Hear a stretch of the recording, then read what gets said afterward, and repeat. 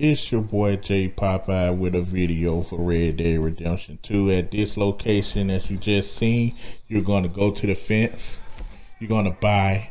You're going to scroll down until you see these different stuff like tonic satchel, uh, ingredient satchel, kit satchel, provision satchel, materials and valuable satchel, legend of the East satchel.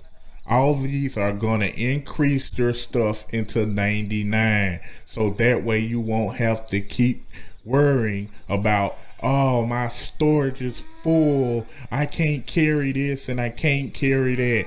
I don't know if this works before or after you beat the game, but me, I beat the game. So go try it. If you like this video, please share it, comment, and subscribe.